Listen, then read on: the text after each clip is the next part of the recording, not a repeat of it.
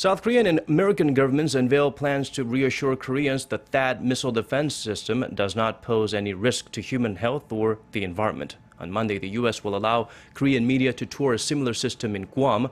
Reporters will be given unprecedented access to Andersen Air Force Base, where the Alpha battery was set up in 2013 to counter Pyongyang's Musudan missile attacks. Meanwhile, on Sunday, Seoul's defense ministry announced plans to conduct its own three-level inspection in Korea's Seongju County, where THAAD is said to be stationed.